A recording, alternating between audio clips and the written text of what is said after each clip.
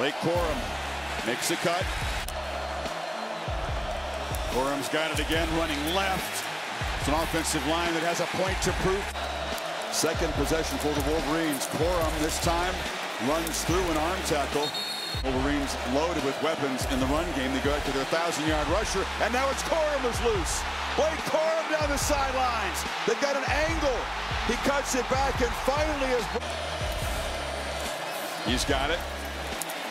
And Corum. It's Corum, and that time hand off, and once again plowing. Getting set up at the 32.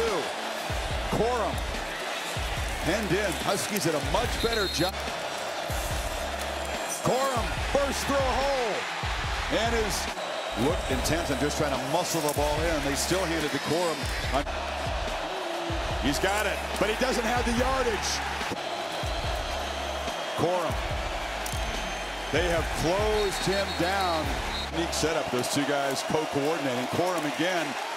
We've had second and 10 handoff to Corum, who works his way to the left. Step play. It changes everything in field position. It's Corum. A very crafty play calls down here. Instead, they just hand it this time to Corum. Steps back, breaks a tackle. Long, he's gone that way. I mean, you need a play. He doesn't go that way, and now Michigan just, he's got it.